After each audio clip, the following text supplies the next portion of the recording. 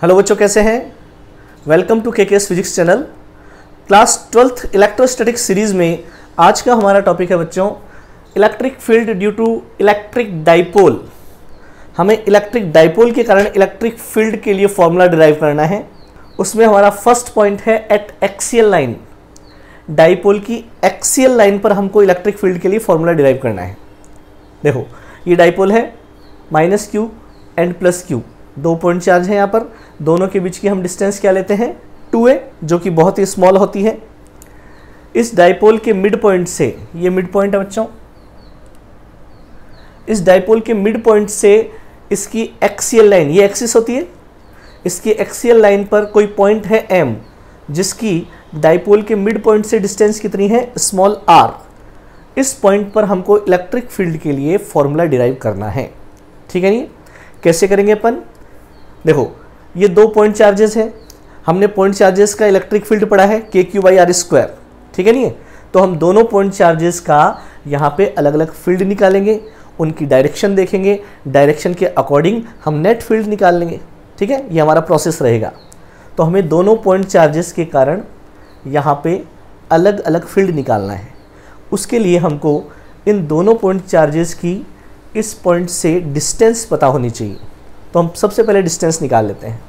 देखो plus Q charge से यहाँ तक की डिस्टेंस क्या हो जाएगी? सोचो। देखो, यहाँ से और यहाँ तक की डिस्टेंस कितनी है? आर उसमें से यदि मैं ये डिस्टेंस माइनस कर दूँ तो मेरे पास यहाँ से और यहाँ तक की डिस्टेंस आ जाएगी प्लस क्यू से एम तक की। और ये डिस्टेंस है कितनी? टू ए की हाफ़ मतलब ए ये डिस्टेंस ए है और ये वाली डिस्टेंस भी कितनी है? ए तो देखो आर में से मैं ए माइनस कर रहा हूँ। तो यहाँ से यहाँ तक की डिस्टेंस आ गई मेरी आर माइनस ए बोलो क्लियर है? प्लस क्यू से एम तक की डिस्टेंस कितनी आई? आर माइनस ए आर में से ए माइनस कर दी। ऐसे ही माइनस क्यू चार्ज से डिस्टेंस कितनी हो जाएगी? देखो, यहाँ से यहाँ तक आर और उसमें कितना ऐड करना है? ए तो टोटल डिस्टेंस कितनी हो गई? R plus A R plus A तो हमने दोनों पॉइंट चार्जेस की इस पॉइंट से डिस्टेंस निकाल लिए। ठीक है? अब दोनों पॉइंट चार्जेस का अलग अलग फ़ील्ड निकाल लेते हैं। सबसे पहले प्लस क्यू चार्ज के कारण फ़ील्ड निकालते हैं। Field due to plus Q charge उसको हम ई e प्लस मान लेते हैं बच्चों। क्या मान लेते हैं? ई e प्लस ठीक है? फॉर्मूला कौन सा लगाओगे? के क्यू अपॉन डिस्टेंस का square K Q upon distance कितनी है प्लस क्यू से यहाँ से यहाँ तक की? आर माइनस ए तो आर माइनस ए का होल स्क्वायर क्लियर ये तो आगे इसका मैग्नीट्यूड अब अगर डायरेक्शन की बात करें तो हम जानते हैं प्लस क्यू चार्ज के कारण फ़ील्ड किधर होता है बच्चों? आउटवर्ड होता है. तो प्लस क्यू चार्ज के कारण यहाँ पर फ़ील्ड की डायरेक्शन बनाऊँगा तो किधर बनाऊँगा?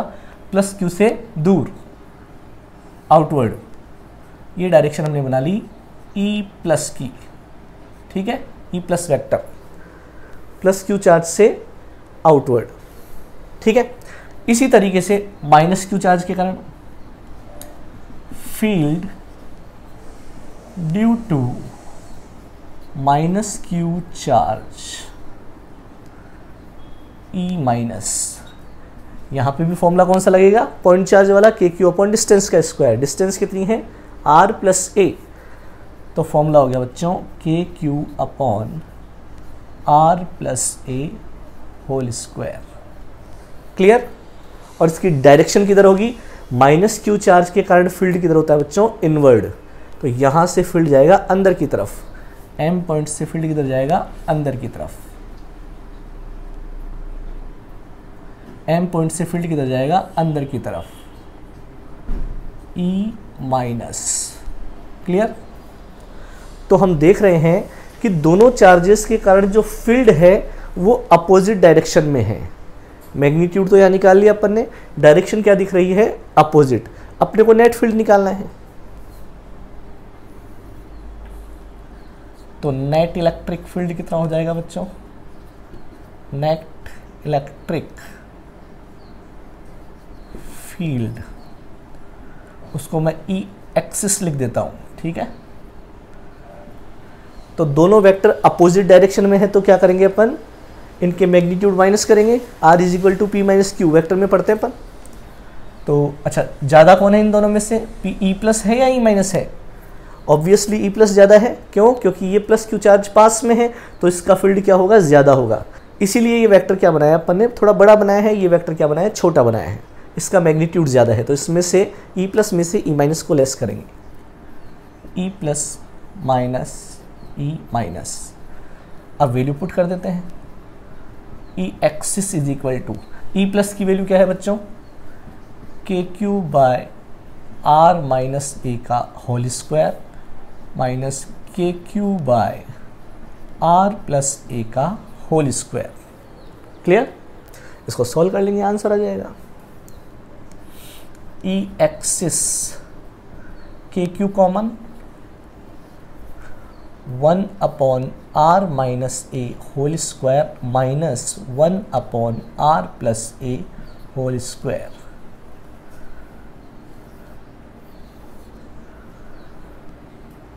E axis is equal to K Q एल्सियम क्या रहा है बच्चों?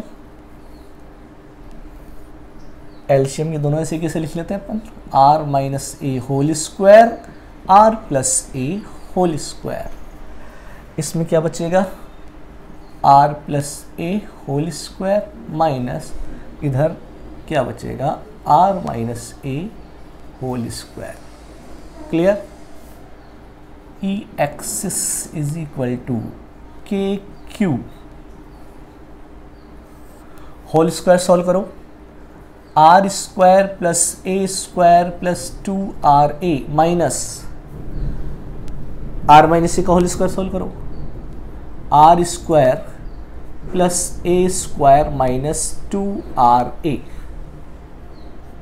ठीक है? इन दोनों को आपस में मल्टीप्लाई कर दो। A minus B A plus B A square minus B square हो जाएगा। R square minus A square और होल स्क्वायर है ही दोनों पर। क्लियर अब देखो, ब्रैकेट के बाहर माइनस है, ब्रैकेट हटाओ तो अंदर के साइन क्या हो जाएँगे बच्चों? चेंज हो जाएँगे, ये प्लस क्या हो जाएगा? माइनस और ये माइनस क्या हो जाएगा? प्लस क्लियर अब देखो आर स्क्वायर आर स्क्वायर से cancel A square A square से कैंसिल तो E axis is equal to क्या हो गया? K Q multiply by two R A plus two R A कितना हो गया? Four R A upon R square minus A square का whole square clear अब क्या करें? इसको आगे सोल्व कैसे करें? देखो डाइपोल है ये इलेक्ट्रिक डाइपोल है। इसका एक डाइपोल मूवमेंट होगा, सब जानते हैं। डाइपोल मूवमेंट क्या होता है? पी और उसकी डायरेक्शन किधर होती है? माइनस क्यू से प्लस क्यू की तरफ़। देखो, ये पी वेक्टर में इधर बना रहा हूँ। ठीक है? और डाइपोल मूवमेंट के बारे में जानते ही हो डाइपोल मूवमेंट का फॉर्मूला क्या होता है? P is equal to Q multiply by two A ठीक है? तो हमें जो फॉर्मूला बनाना है, वो पी की फॉर्म में बनाना है। तो यहाँ पर देखो हम क्या कर सकते हैं। थोड़ा सा इसका मैनिपुलेट करते हैं अपन। फोर है, इसको मैं लिख देता हूँ। Two K Q into two R A लिख सकते हैं इसे अपन? और यहाँ से मैंने आर स्क्वायर बाहर निकाल लिया बच्चों। आर स्क्वायर कॉमन ले लिया। कॉमन लेके बाहर निकाला तो आर की पावर फोर हो गया क्योंकि यहाँ स्क्वायर लगा हुआ है। और कॉमन लेने का मतलब होता है डिवाइड करना, यहाँ से डिवाइड कर दो आर स्क्वायर का डिवाइड करेंगे तो क्या जाएगा वन और इधर ए स्क्वायर का ए स्क्वायर में आर स्क्वायर का डिवाइड करेंगे तो क्या आएगा? A square by R square का होल स्क्वायर क्लियर अब यहाँ से आर है, यहाँ से आर की पावर फोर है फोर कट के क्या जाएगी? थ्री अब हमको ये पता है कि इलेक्ट्रिक डाइपोल के दोनों चार्ज जो होते हैं, बहुत पास पास में होते हैं। एक्चुअल में ये जो डिस्टेंस है टू ए इस आर के कंपैरिजन में बहुत छोटी है। ठीक है नहीं? यहाँ two A is very very less than R यहाँ here two A is very very less than R therefore हम A square by R square को क्या मान सकते हैं बच्चों? इसको नेग्लिजिबल मान सकते हैं। अप्रॉक्सीमेट ज़ीरो मान सकते हैं इसको। ठीक है? तो E axis is equal to क्या हो जाएगा ज़रा सोचो? टू के अब देखो ध्यान से, Q into two A Q into two A को क्या लिख सकता हूँ मैं? P तो हो जाएगा टू के पी बाय नीचे आर की पावर कितना बचा है? थ्री तो आर क्यूब और one minus A square upon are square क्या हो गया? ज़ीरो तो one minus zero one one का स्क्वायर वन तो ये नीचे ही बचेगा। तो ये अपना फॉर्मूला बन गया बच्चों। E X is equal to two K P by R cube ठीक है? तो इलेक्ट्रिक डाइपोल की एक्सिस पर, किसी पॉइंट पर इलेक्ट्रिक फ़ील्ड का फॉर्मूला क्या होता है? E axis is equal to two K P upon R cube अब यहाँ से साफ़ पता चल रहा है बच्चों कि जो इलेक्ट्रिक फ़ील्ड है ये जो एक्सियल पॉइंट पर इलेक्ट्रिक फ़ील्ड है, वो डिस्टेंस आर के क्यूब के इन्वर्सली प्रोपोर्शनल है. E X is proportional one upon R की पावर थ्री तो अगर मैं ई आर ग्राफ बनाऊँ ई e और आर के बीच में यदि ग्राफ बनेगा तो कैसा बनेगा बच्चों? क्या ऐसा बनेगा? एक्स एक्सिस पे आर ले लिया वाई एक्सिस पे ई ले लिया अपन ने. यू ग्राफ बन जाएगा. डिस्टेंस बढ़ती जाएगी और फ़ील्ड तेज़ी से क्या होता जाएगा? डिक्रीज होता जाएगा। क्लियर? तो क्या किया हमने? सबसे पहले डाइपोल के दोनों चार्जेस की पॉइंट से अलग अलग डिस्टेंस निकाली। दोनों पॉइंट चार्जेस का अलग अलग फ़ील्ड निकाला। उनकी डायरेक्शन देखी। डायरेक्शन के अकॉर्डिंग हमने देखा कि दोनों अपोजिट है तो माइनस कर दिया मैग्नीट्यूड्स को। उसको सॉल्व कर लिया। आंसर आ गया। ये जो रिजल्टेंट फ़ील्ड आया बच्चों, इसकी डायरेक्शन किधर होगी ज़रा बताइए। देखो E प्लस जो है, वो E माइनस से बड़ा है मैग्नीट्यूड में तो जब E प्लस में से E माइनस लेस करेंगे तो रिजल्टेंट फ़ील्ड किधर बनेगा? E प्लस की तरफ़ बनेगा, क्योंकि ये बड़ा है। तो रिजल्टेंट फ़ील्ड यहाँ पर कौन सी डायरेक्शन में आएगा? E प्लस वेक्टर की डायरेक्शन में आएगा। ठीक है नहीं तो इस पॉइंट पर जो रिजल्टेंट फ़ील्ड है, वो इधर की तरफ़ है। और देखो, क्या यही डायरेक्शन पी वेक्टर की भी है? क्या यही डायरेक्शन किसकी है? पी वेक्टर की। तो हम ये भी कह सकते हैं कि एक्सिस पर जो फ़ील्ड होता है, वो इलेक्ट्रिक डाइपोल मोमेंट की डायरेक्शन में ही होता है। तो यदि हम इस फॉर्मूले को वेक्टर फॉर्म में लिखना चाहें, किस फॉर्म में लिखना चाहें? वेक्टर फॉर्म में। तो कैसे लिखेंगे? यहाँ लिख देते हैं ना। E vector is equal to 2k p vector upon r cube ठीक है? वेक्टर फॉर्म में क्या लिखेंगे? E axis vector is equal to two K P vector upon R cube vector form ये बता रहा है कि ई एक्सिस वैक्टर की डायरेक्शन पी वैक्टर की डायरेक्शन में ही होगी। ठीक है? तो ये एक इंपॉर्टेंट डेरिवेशन है बच्चों बोर्ड के हिसाब से। इसको आपको लर्न करना चाहिए। अब इस फॉर्मूले पर एक इलेस्ट्रेशन देख लेते हैं अपन। अब देखो बच्चों क्वेश्चन दिया है हमको कि माइनस हंड्रेड माइक्रो कुलाम है हमारे पास, जिसके कोऑर्डिनेट्स क्या है? माइनस टेन मिलीमीटर ज़ीरो और प्लस हंड्रेड माइक्रो कुलाम है जिसके कोऑर्डिनेट है प्लस टेन मिलीमीटर ज़ीरो हमें इलेक्ट्रिक फ़ील्ड कैलकुलेट करना है कौन से पॉइंट पर? पहले क्वेश्चन में है पी पॉइंट पर, जिसके कोऑर्डिनेट क्या है? टू मीटर एंड ज़ीरो और दूसरा है क्यू पॉइंट पर, जिसके कोऑर्डिनेट है फिफ्टी मिलीमीटर एंड ज़ीरो ठीक है?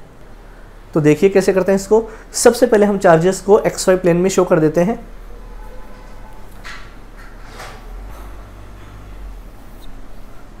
ठीक है? ये एक्स एक्सिस और ये वाई एक्सिस ये ओरिजन माइनस हंड्रेड माइक्रोकुलाम कहाँ रखा हुआ है? माइनस टेन मिलीमीटर ज़ीरो पर। तो माइनस टेन मिलीमीटर यानी एक्स एक्सिस का कोऑर्डिनेट है ये। वाई एक्सिस का कोऑर्डिनेट कितना है? ज़ीरो इसका मतलब ये एक्स एक्सिस पर रखा हुआ है। दोनों चार्जेस कहाँ रखे हुए हैं? एक्स एक्सिस पर। माइनस हंड्रेड कहाँ रखा हुआ है? माइनस टेन मिलीमीटर यहाँ मान लेता हूँ मैं। ये तो माइनस हंड्रेड माइक्रोकुलाम है। माइनस टेन मिलीमीटर पर। और ये प्लस हंड्रेड माइक्रोकुलाम चार्ज है। ये कहाँ रखा है? प्लस टेन मिलीमीटर पर। ठीक है? तो यहाँ से साफ़ पता चल रहा है बच्चों की दोनों चार्जेस के बीच की डिस्टेंस कितनी हो गई? 10 और 10 20 मिलीमीटर हो गई। क्या हम इसको 2a मान सकते हैं? ठीक है? हमें फ़ील्ड कहाँ निकालना है? P पॉइंट पर। P पॉइंट भी कहाँ पर है? X एक्सिस पर है। कितना मीटर दूर है? दो मीटर दूर। मान लो ये p पॉइंट है यहाँ पर। इसकी लोकेशन कहाँ पर है? दो मीटर दूर है। कहाँ से? ओरिजन से। ओरिजन से, इसका मतलब डाइपोल के मिड पॉइंट से, इसका मतलब यहाँ से और यहाँ की डिस्टेंस अपन आर जिसको बोलते हैं टू मीटर मान सकते हैं। आर क्या हो गई बच्चों? टू मीटर ठीक है? डाइपोल के मिड पॉइंट से पॉइंट की डिस्टेंस आर मानते हैं। आर पता चल गई टू ए पता चल गई चार्जेस मतलब क्यू पता है अपने को।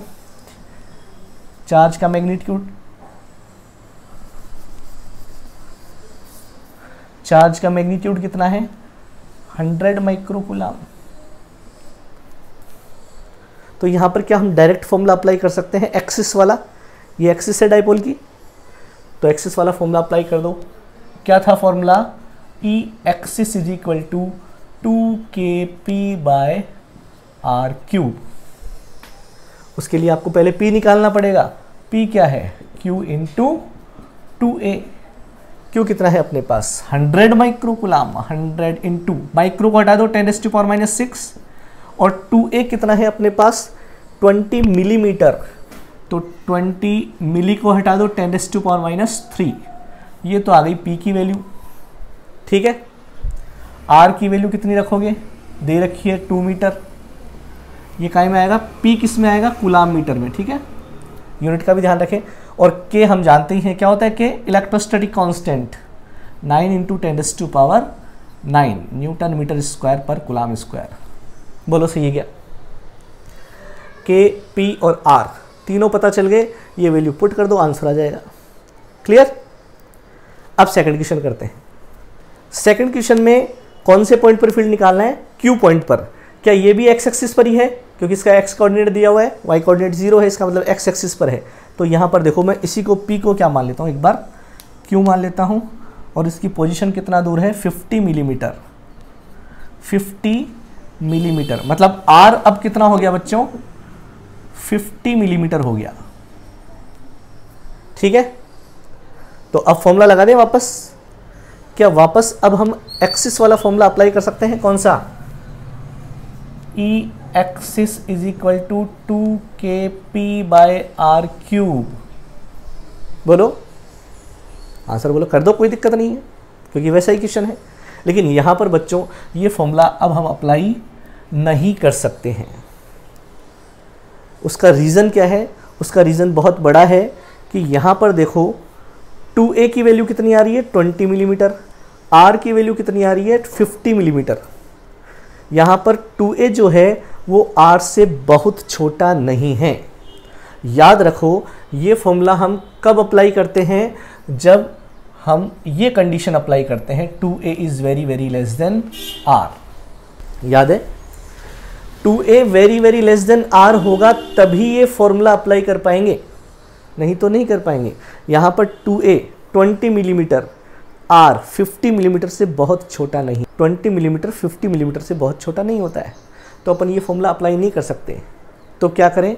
अब अपने को वापस वो जो बेसिक फॉर्मूला है, वो काम में लेना पड़ेगा कि प्लस क्यू चार्ज का फ़ील्ड निकालो, यहाँ से यहाँ तक की डिस्टेंस देखो प्लस क्यू चार्ज का अलग फ़ील्ड निकालो माइनस क्यू चार्ज का अलग फ़ील्ड निकालो और फिर उनकी डायरेक्शन के अकॉर्डिंग उनका रिजल्टेंट निकालो।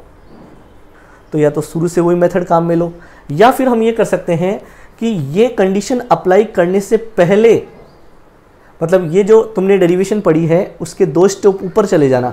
उसमें अपन ने याद करो फॉर्मूला क्या बनाया था। E is equal to K Q into four R A upon R square minus A square का होल स्क्वायर याद आ रहा है? ये जो फॉर्मूला निकाला था, अपन ने इससे दो स्टेप ऊपर चले जाएँ तो हमने ये इक्वेशन प्राप्त की थी। ठीक है? इसके बाद हमने ये कंडीशन अप्लाई की थी। तो हम ये फॉर्मूला लगा सकते हैं यहाँ पर। अब आप सेकंड क्वेश्चन करने के लिए ये फॉर्मूला काम में ले सकते हैं। ये फॉर्मूला काम में नहीं लेंगे। ये वाला फॉर्मूला काम में लेंगे। ठीक है? यहाँ पर वैल्यू पुट कर देना। कि अपन जानते ही हैं nine into ten to power nine newton metre square पर कुलाम स्क्वायर आर की जगह क्या रखेंगे अब? 50 मिलीमीटर मिली को हटा देना ten to power minus three metre A अब ये ध्यान रखना ए की वैल्यू रखनी है टू ए की वैल्यू नहीं रखनी है. टू ए कितना है? 20 मिलीमीटर ए कितना होगा? 10 मिलीमीटर मिली को हटा दो ten s to power minus three metre तो आपको ये वैल्यूज़ यहाँ पर पुट करनी है और आंसर निकालना है। तो दोनों क्वेश्चंस देने का एम यही था कि आपको पता रहे कि हम ये फॉर्मूला कब अप्लाई करेंगे और ये फॉर्मूला कब अप्लाई करेंगे। जब 2a A is very very less than R हो, तभी ये फॉर्मूला अप्लाई करेंगे। यदि 2a A very very less than R नहीं है तो ऐसे क्वेश्चंस में आप ये फॉर्मूला अप्लाई कर सकते हैं। क्लियर तो इस वीडियो में बच्चों, अपन ने डाइपोल की एक्सियल लाइन पर इलेक्ट्रिक फ़ील्ड की बात की। अगले वीडियो में हम बात करेंगे डाइपोल के इक्विटोरियल लाइन पर कितना फ़ील्ड होता है। ठीक है? Thank you